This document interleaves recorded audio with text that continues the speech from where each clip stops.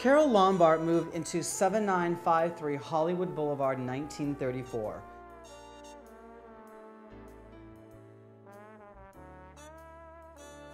Well, here we are in the middle of Hollywood, California at 7953 Hollywood Boulevard, which is just between Laurel Canyon and Fairfax. And we are about to enter Carole Lombard's former home. She lived here in 1934 and she was married to Clark Gable. Come on in. Well, here we are in this fabulous French house of Carole Lombard's. And at the time that Carole died, she was one of the highest paid actresses in Hollywood. She was making $500,000 a year. Carole was known as one of Hollywood's greatest hostesses, and she would be right in this living room and have theme parties, and she would invite all her beautiful friends. This home was built in the 1920s, and a lot of homes up the hill more in Hollywood, like if you go to Sunset Plaza or Doheny Estates, those homes were built in the 50s. So this is a historical property, and um, I'm just so glad you're here with me. Well, here we are in this gorgeous formal dining room where Carole used to hang out and entertain all her guests. Wow.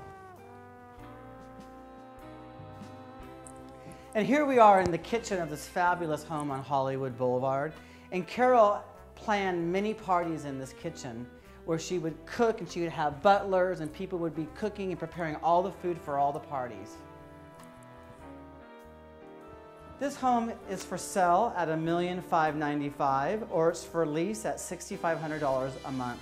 So let me take you upstairs and show you the fabulous master suite. Well, here we are in the master suite of this fabulous home on Hollywood Boulevard. I cannot believe that Carole Lombard and Clark Gable actually slept right here in this bedroom.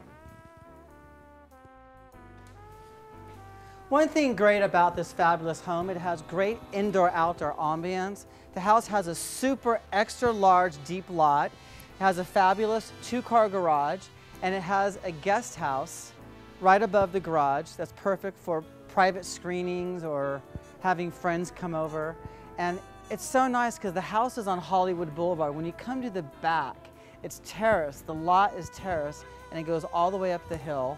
And the lot is just so private and it's perfect for your Hollywood parties.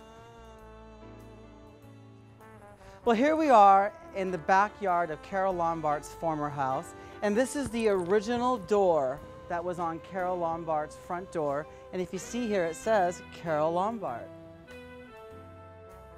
Well, I hope you had a fabulous day with me at Carole Lombard's house in Hollywood, California. And I just thank you for being here in this special home with me.